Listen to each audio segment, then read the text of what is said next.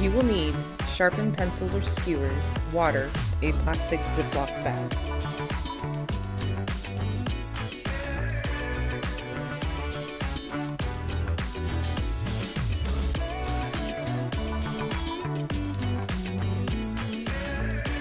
Plastics are polymers, which means it is a long chain of plastic molecules that stick together. When you stab a pencil through the bag, the polymers move apart, breaking the chain. Plastic polymer chains are flexible and sticky.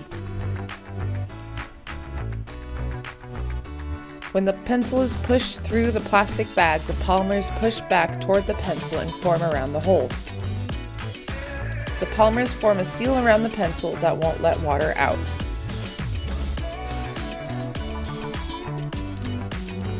Don't forget to subscribe and like the video.